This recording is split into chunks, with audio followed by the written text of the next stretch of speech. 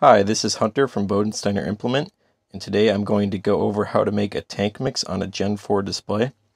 Start by hitting the Setup button. Here we're at the Work Summary page now, and we can switch it from Single Product to Tank Mix. This takes us to our list of tank mixes.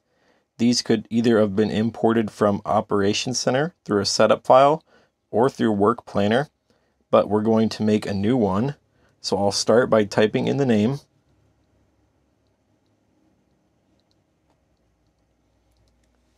Now I'll select the rate for the tank mix and the carrier. Once we're at this page, we can add different products to our tank mix. This is a complete list of every product that's in all the other tank mixes. So we can go through this list, but if we need to add a product that isn't already in here, we can just hit new product.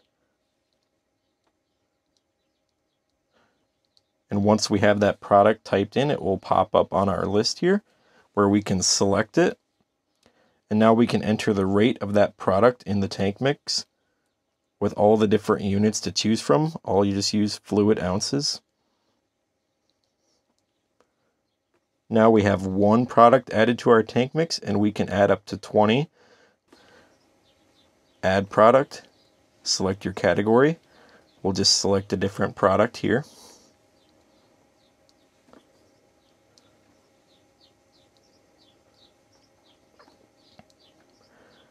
Now if you need to modify a product in your tank mix, you can always just click on it and hit the pencil to edit it, or you can hit the delete to take it out of the tank mix.